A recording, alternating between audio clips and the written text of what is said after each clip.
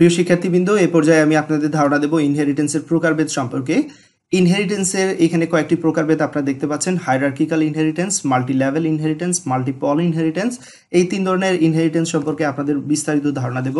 প্রথমে হায়ারার্কিক্যাল ইনহেরিটেন্সের দিকে লক্ষ্য রাখবেন, যেটার ব্যবহার আপনারা অলরেডি অনেকবারই দেখেছেন। এখানে শেপ ক্লাসকে ট্রায়াঙ্গেল ক্লাস ইনহেরিট করতেছে এবং রেক্টাঙ্গেল ক্লাস কি করতে পারছে? ইনহেরিট করতে পারছে। তো এটা হচ্ছে হায়ারার্কিক্যাল ইনহেরিটেন্স কোনো একটা ক্লাসকে অনেকেই ইনহেরিট করতে পারতেছে। তারপর মাল্টি লেভেল ইনহেরিটেন্সের দিকে যদি লক্ষ্য রাখেন এ ক্লাসকে ইনহেরিট করতেছে বি ক্লাস আবার বি ক্লাসকে ইনহেরিট করতেছে সি ক্লাস বিভিন্ন লেভেল দেখতে পাচ্ছেন এইখানে। তো এই ধরনের ইনহেরিটেন্সকে মাল্টি লেভেল ইনহেরিটেন্স বলা হয়। সবার শেষে যেটা লক্ষ্য রাখবেন মাল্টিপল ইনহেরিটেন্স এ ক্লাসকে ইনহেরিট করেছে বি এবং সি যেটা মূলত ছিল হায়ারার্কিক্যাল ইনহেরিটেন্স কিন্তু এই বি এবং সি উভয় ক্লাসকে একসাথে ইনহেরিট করেছে ডি ক্লাস এই জন্য এটা হচ্ছে মাল্টিপল ইনহেরিটেন্স মাল্টিপলটা মূলত এইখানে করতেছে লক্ষ্য রাখবেন। সো এগুলো একটু প্র্যাকটিক্যাল ব্যবহার দেখানোর চেষ্টা করব। হায়ারার্কিক্যাল ইনহেরিটেন্সের প্র্যাকটিক্যাল ব্যবহার অলরেডি আপনারা দেখে নিয়েছেন বাট আমি মূলত এখানে আলোচনা করব মাল্টি লেভেল এবং মাল্টিপল ইনহেরিটেন্স সম্পর্কে। সো পাইচার্মে আপনাদের নিয়ে যাচ্ছি। প্রথমে যেই কাজটা করব, এ নামে একটি ক্লাস ডিক্লেয়ার করব এখানে এবং এ ক্লাসের মধ্যে জাস্ট আমি একটা মেথড ডিক্লেয়ার করে নেব ডিসপ্লে ওয়ান নামে। এবং এটা প্রিন্ট করবে I am inside A class fine তারপর আরেকটি ক্লাস ডিক্লেয়ার করব এক্স্যাক্টলি সেম ভাবে। ক্লাসের নাম হবে বি ক্লাস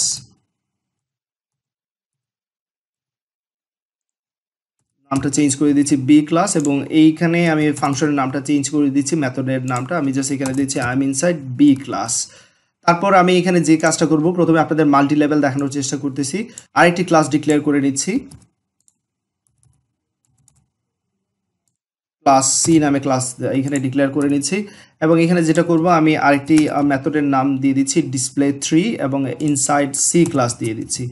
এতটুকু। এবার লক্ষ্য রাখবেন, আমি এটাকে মাল্টি লেভেল ইনহেরিটেন্সে কনভার্ট করে নিচ্ছি। মাল্টি লেভেল যেটা বলেছিলাম, একটি ক্লাসকে যদি অন্য একটি ক্লাস ইনহেরিট করে, তারপর সেই অন্য একটি ক্লাসকে যদি অন্য একটি ক্লাস সো ইজিলি যদি বলা যায়, এ ক্লাসকে যদি বি ক্লাস ইনহেরিট করে বি ক্লাসকে যদি সি ক্লাস ইনহেরিট করে, এরকম বিভিন্ন লেভেলে যদি ইনহেরিট হয়, সেটা হচ্ছে level multi level inheritance so আমরা সেটা করতে পারি এখানে, আমি জাস্ট এখানে দিয়ে দিচ্ছি এ ক্লাসের নাম। তাহলে এ ক্লাসের সব বৈশিষ্ট্য বি ক্লাসে চলে এসেছে। তারপর সি ক্লাসটা ইনহেরিট করতেছে বি ক্লাসকে তো এখানে বিষয়টা লক্ষ্য রাখবেন, যখনই বি ক্লাস এ ক্লাসকে ইনহেরিট করেছে দ্যাট মিন্স এই ডিসপ্লে ওয়ান যে ম্যাথডটা আছে, সেটা কিন্তু এখানে চলে এসেছে। আমি জাস্ট এখানে বোঝার সুবিধার্থে এটা লিখতেছি ডিসপ্লে ওয়ান ম্যাথডটা কিন্তু এখানে চলে এসেছে।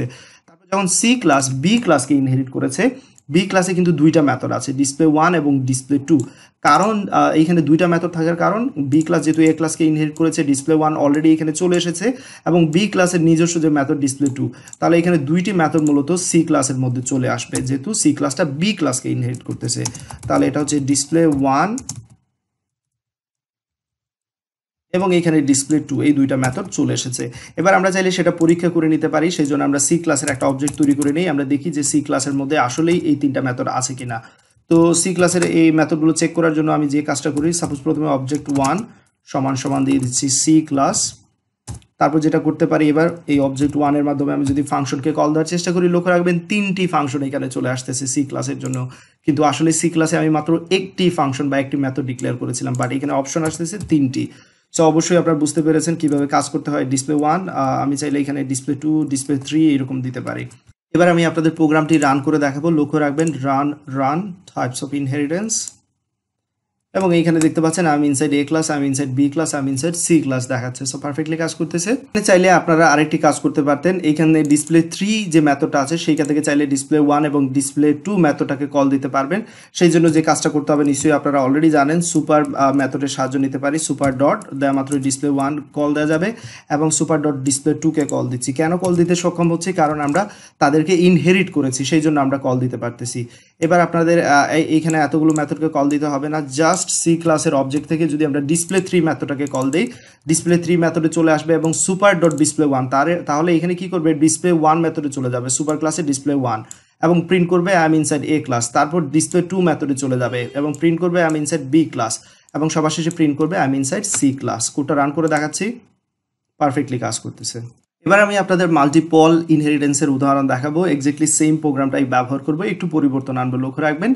এখানে এ এবং বি ক্লাসকে যদি সি ক্লাস ইনহেরিট করে, সেক্ষেত্রে যেটা হবে, একটু লক্ষ্য রাখবেন। আমি এখান থেকে জাস্ট এটা সরিয়ে নিচ্ছি, আপনাদের বোঝার সুবিধার্থে। এখানে কোনো ইনহেরিটেন্স করতেছে না, লক্ষ্য রাখবেন।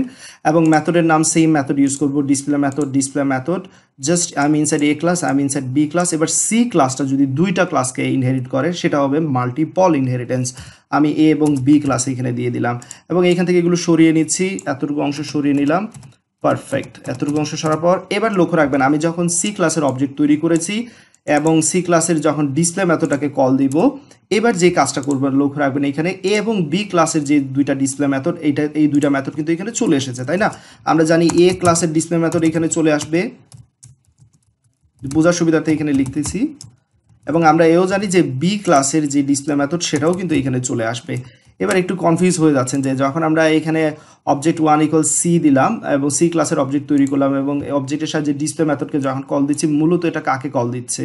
তো আমি এটা সরিয়ে নিচ্ছি কোডটা রান করে আমি আপনাদের দেখাচ্ছি। সো লক্ষ্য রাখবেন, এটা দেখাচ্ছে I am insert C class কারণ এটার প্রায়োরিটি এখানে বেশি। বাট আমি যদি এটা না দিতাম, সেক্ষেত্রে কী করতো, সেটা আমরা দেখার চেষ্টা করি। এখানে জাস্ট অবশ্যই জানেন আপনারা এখানে অ্যাটলিস্ট পাস যে ইয়েটা আছে স্টেটমেন্ট আছে, সেটা দিতে হবে আদারওয়াইজ এখানে অ্যারোর দেখাবে।